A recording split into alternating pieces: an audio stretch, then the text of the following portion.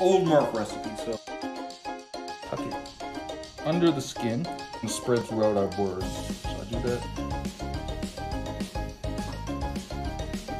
Salt.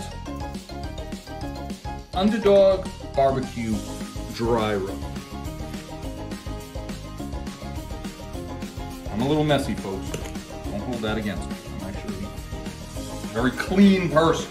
Just, I'm generous with the spices.